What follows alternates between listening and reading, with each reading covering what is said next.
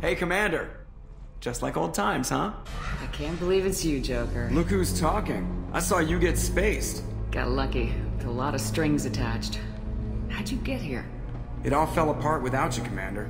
Everything you stirred up, the Council just wanted it gone. The team was broken up, record sealed, and I was grounded.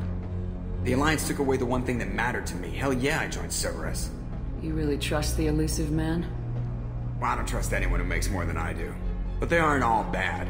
Saved your life, let me fly, and there's this. They only told me last night.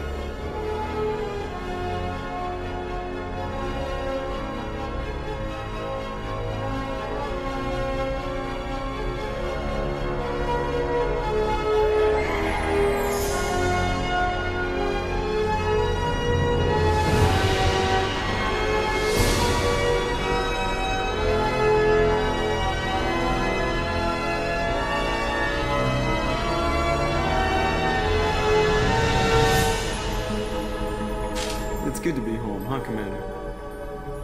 I guess we'll have to give her a name.